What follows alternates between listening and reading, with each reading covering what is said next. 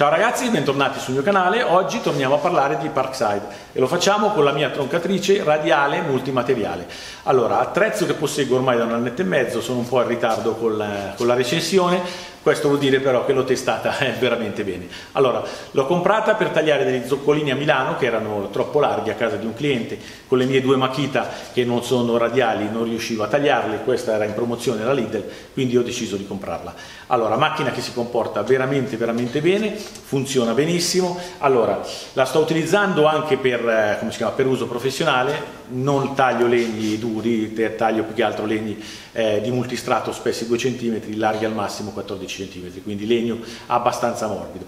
Però quando la utilizzo una volta ogni 2-3 settimane per costruire dei falsi telai per i serramenti, la utilizzo veramente tanto, faccio anche 100-200 tagli alla volta. Macchina che si comporta veramente veramente bene anche quando è sotto stress. Allora, macchina radiale, vi dicevo, cosa vuol dire?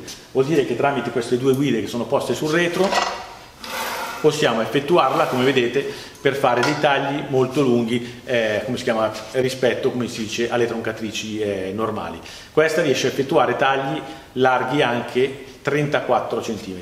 Io l'ho utilizzata, come vedete nel video, per tagliare legni larghi 56 cm. Come vedete questo è legno di ciliegio, quindi legno molto duro.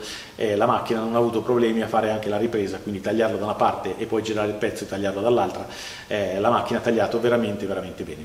Allora, eh, poi, come si dice, come vi dicevo, è anche una macchina multimateriale. Multimateriale cosa vuol dire?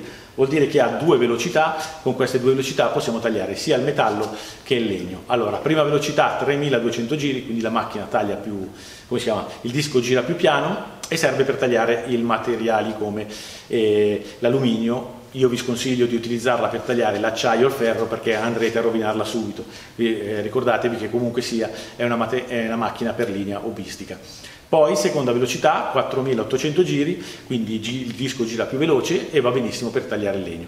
Taglia qualsiasi tipo di legno, taglia il legno veramente veramente bene, come vi dicevo io ne sono veramente è veramente contento. Allora, in questo video vi parlo delle caratteristiche, non mi metterò qua a farvi vedere il test che taglio il pezzettino di legno di qua, il pezzettino di legno di là, perché come vi dicevo la macchina funziona benissimo, al massimo metterò dentro qualche pezzettino di video eh, passato, giusto per farvi vedere il funzionamento.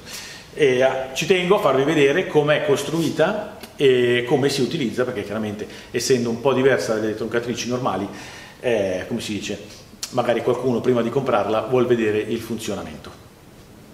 Incominciamo col vedere tutte le regolazioni che ha il pianale. Tanto per iniziare, se guardiamo, il pianale è completamente costruito in alluminio, quindi molto leggero. Come vedete ha una linea molto più pronunciata, ha questa guida che è molto più pronunciata rispetto alle troncatrici normali, questo chiaramente serve per, per avere un appoggio sia per i pannelli che chiaramente anche per le tavole, perché se vi ricordate la macchina taglia fino a 34 cm. Allora, guida che chiaramente si può spostare perché la macchina può tagliare in direzione sia verso destra che verso sinistra di 45 gradi. Come vedete qua ci sono due leve.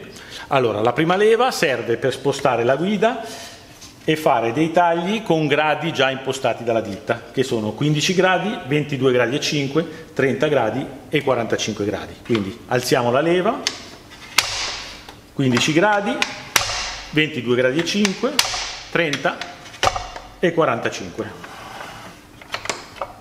Chiaramente fa lo stesso anche dall'altra parte. Ovviamente possiamo anche tagliare i legni in qualsiasi gradi vogliamo, per esempio se io vado a 16 gradi, sposto la macchina fino a 16 gradi e abbasso la leva che troviamo in alto. Come vedete la guida rimane bloccata, pronta per tagliare. Sblocchiamo e torniamo a 0 gradi.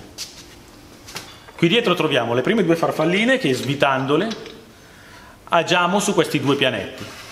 Questi due pianetti servono sia per avere un piano d'appoggio più largo, ma alzando, come vedete, queste leve che ci sono sia da una parte o dall'altra, possiamo avere delle regolazioni per fare dei tagli in serie.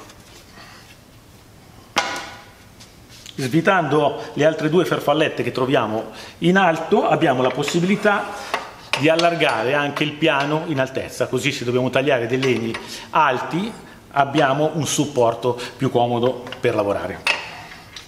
Ultima vite con la farfalla che serve per il bloccaggio delle morse. Ora vi spiego come funzionano le morse. Nella scatola ce ne sono due, ma se ne utilizzerà praticamente sempre una. Eh, Anch'io chiaramente come voi vado a guardare le recensioni su internet perché chiaramente sia un po' per informazione ma anche quando devo andare a comprare una macchina. Quasi tutti vi dicono che eh, la morsa è stata messa in un punto sbagliato qui perché quando andiamo ad abbassare la macchina il motore tocca contro il morsetto. In realtà non è così perché quando andiamo a tagliare legni a 90 gradi la morsa deve essere messa sempre solamente da questa parte legno fisso, macchina che taglia e poi legno che andrà a muoversi. Se noi mettiamo due morsetti, la lama andrà in blocco sul legno, chiaramente, soprattutto se andiamo a tagliare dei legni masselli, dei legni molto duri e magari anche alti, rischiamo di bruciare la lama perché andrà a bloccarsi, oppure anche di rovinare la lama perché, come si chiama, se il legno è duro si storterà la lama. Come vedete la lama ha fatto fatica a tagliare questo legno molto grosso e l'ha bruciato. Questo è l'effetto che si forma se noi andiamo a bloccare il legno da tutte e due le parti. Il morsetto si monta da questa parte quando, quando noi andremo a effettuare dei tagli obliqui a 45 gradi, a 45 gradi. Questo perché fisseremo il legno di qua perché sarà più facile da guardare, ovviamente non andremo a mettere il blocco di qua perché non vedremo bene dove andremo a tagliare. Quindi il legno si infilerà da questa parte, in blocco la macchina taglia e il legno tagliato si muoverà da questa parte. Come vedete qui dietro troviamo il blocco con i gradi segnati per poter eh, inclinare la macchina fino a 45 gradi. La macchina si farà dei tagli obliqui solamente dalla parte verso sinistra e non chiaramente verso destra. Qui in alto troviamo leva per azionare la macchina, pulsante per lo sblocco della leva. Se noi non andiamo a schiacciare questo pulsante la macchina rimarrà come vedete in blocco. Quindi schiaccio del pulsante macchina che parte. Poi troviamo due pulsanti.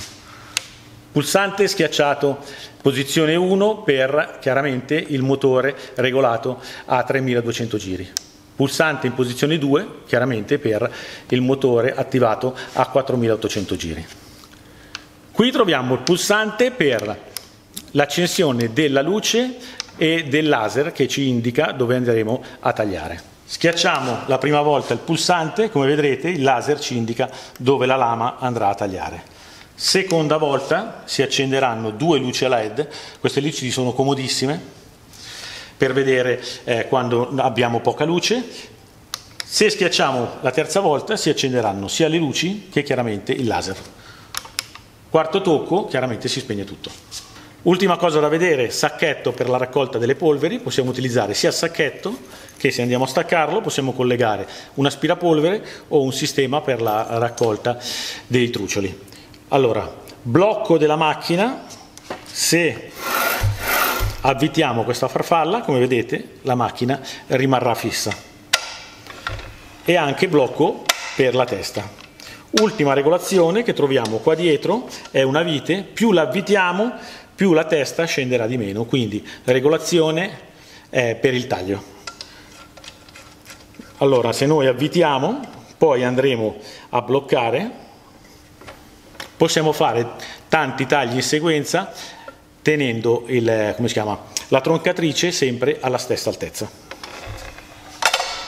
Siamo giunti al termine del video, spero che vi sia piaciuto. Allora, tiriamo le conclusioni. Macchina che secondo me funziona benissimo, motore che sembra potentissimo, 2000 watt di potenza, in realtà non è così, secondo me sono andati a sopperire il fatto di aver utilizzato un motore a basso costo mettendo un motore un po' più potente. Di solito queste macchine hanno motori dai 1500 ai 1700 watt, eh, questa ne ha un motore da 2000 watt ma ho notato che quando taglio dei legni come il faggio o l'altra volta il ciliegio la macchina eh, fa un po' fatica a tagliare. Quando ho utilizzato la mia Makita che è 1400 watt non, avuto, eh, non ha sforzato così tanto. Eh, comunque macchina che diciamo è un entry level, non ci possiamo aspettare eh, niente di più, macchina che fa il suo dovere. Allora, cosa mi è piaciuto poi anche di questa macchina?